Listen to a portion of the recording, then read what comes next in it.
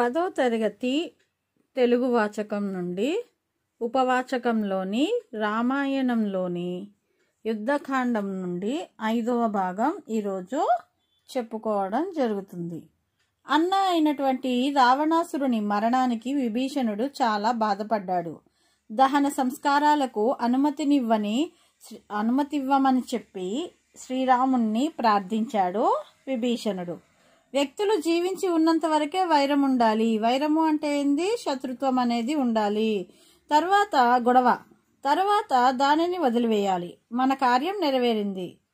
కావలసిన సంస్కారాలను చేయమని అన్నాడు శ్రీరాముడు. అప్పుడు రావణుడు నీకెట్లాగో నాకు అట్లాగే గౌరవాస్పదుడు అని తన విశాల హృదయాన్ని చాటుకున్నాడు శ్రీరాముడు.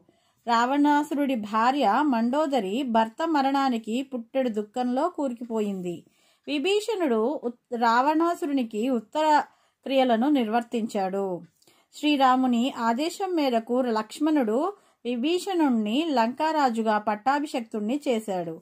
సీతతో తన విజయవార్తను తెలపమని హనుమంతుణ్ణి ఆదేశించాడు శ్రీరాముడు.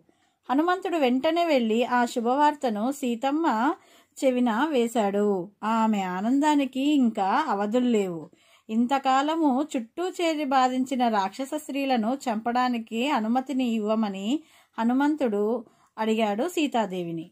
కాని సీతమ్మ తగని పని అది వద్దు అని వారించింది సీత.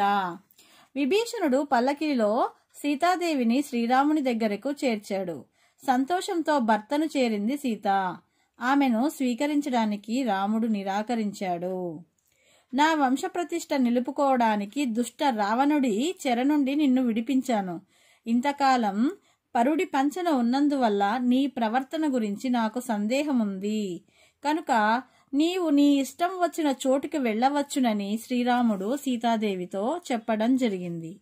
శ్రీరాముని మాటలు ములుకుల్లాగా గుర్చుకున్నాయి సీతాదేవికి. స్థాయికి తగినట్లుగా మాట్లాడలేదని రాముడితో అంటుంది. శ్రీరామునికి విశ్వాసాన్ని కలిగించడానికి ఇక తన దగ్గర ఉన్నది అగ్ని ప్రవేశమే అని ఒక్కటే అదే శరణ్యమని భావించింది.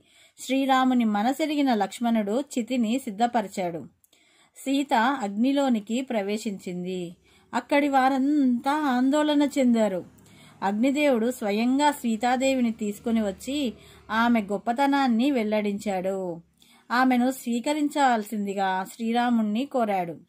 సీత గురించి తనకంతా తెలుసన్నాడు శ్రీరాముడు. తన శీలం యొక్క గొప్పతనాన్ని ముల్లోకాలకు చాటడానికి ఆమె అగ్నిప్రవేశం చేస్తున్నా ఊరుకున్నాను అని అన్నాడు. సీతను దగ్గరకు తీసుకున్నాడు. పరమశివుడు శ్రీరాముణ్ణి ప్రశంసించాడు.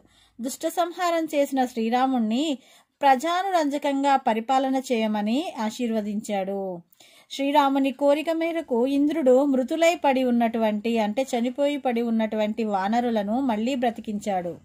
విభీషణుడు లంకలో కొంతకాలం ఉండవలసిందిగా శ్రీరాముణ్ణి అభ్యర్థించాడు. భరతుని కొరకు తాను త్వరగా ప్రయాణం కావలసిందే అన్నాడు శ్రీరాముడు. ఎందుకంటే భరతుడు వేచి ఉన్నాడు కదా అక్కడ. వానరులను వాళ్ళ స్వస్థన స్వస్థలాలకు వెళ్ళమని చెప్పి విభీషణుడిని వీడ్కోలు అందుకున్నాడు. అంటే విభీషణుడి యొక్క వీడ్కోలును అందుకున్నాడు. పుష్పక విమానంలో అయోధ్యకు బయలుదేరాడు. దారిలో ఆయా ప్రదేశాలన్నీ సీతకు చూపుతున్నాడు. భరద్వాజాశ్రమాన్ని సందర్శించారు. శ్రీరామాజ్ఞతో హనుమంతుడు శ్రీరాముడు వస్తున్న విషయాన్ని భరతునికి గుహుడికి ముందుగా వెళ్ళి తెలియజేశాడు.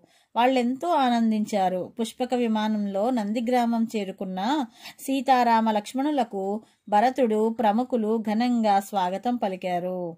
సీతారామ లక్ష్మణులు కౌసల్య సుమిత్ర కైకేయి వశిష్ఠుల పాదాలకు ప్రణామాలను అర్పించారు.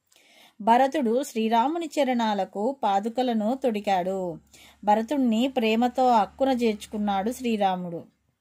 అది అన్నదమ్ముల ఆప్యాయత అనుబంధం. అంగరంగ వైభవంగా శ్రీరామ పట్టాభిషేక మహోత్సవం జరిగింది.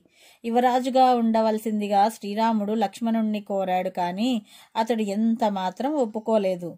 అప్పుడు భరతుణ్ణి యువరాజుగా చేశాడు. యజ్ఞ యాగాది క్రతువులను నిర్విఘ్నంగా కొనసాగిస్తున్నాడు శ్రీరాముడు. ప్రజలను ఎలా చూసుకుంటున్నాడట? కన్న బిడ్డల్లా చూసుకుంటున్నాడు. ఎలాంటి ఈతి బాధలు లేవు. అందరూ ధర్మబద్ధంగా నడుచుకుంటున్నారు. ఇలా పదకొండు సంవత్సరాల కాలం ప్రజానురంజకంగా పరిపాలించాడు శ్రీరాముడు. అందుకే రామరాజ్యం అన్న మాట నేటికి ఆదర్శమై నిలిచింది.